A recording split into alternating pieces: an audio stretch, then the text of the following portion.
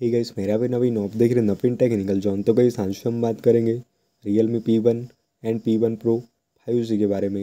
And गई आज का हमारा टॉपिक है incoming call not showing on screen problems के बारे में। तो गई अगर आपको कॉल शो नहीं कर रहे हैं, आपको जब भी कोई भी कॉल्स वगैरह प्राप्त होता है, जब भी आपको कोई भी कॉल्स करता है गाइस तो आपके फ़ोन के स्क्रीन पर आपको कॉल नहीं दिखता तो आप कैसे यह प्रॉब्लम्स को ठीक करेंगे? तो गाइस वीडियो को लास्ट तक देखिए एंड समझिए।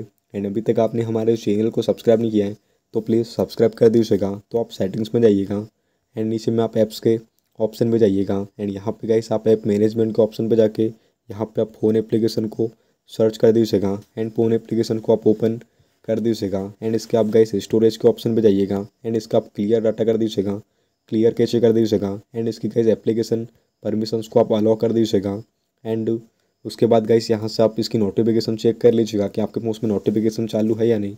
अगर इसकी नोटिफिकेशन बंद होगी गई तो आप नोटिफिकेशन चालू कर दीजिएगा तो आपके फ़ोन में कॉल शो होना स्टार्ट हो जाएगा। तो गई से आज का हमारा टॉपिक उम्मीद ही है आपको वीडियो पसंद होगी। आज के लिए बस इतना ही। Thank you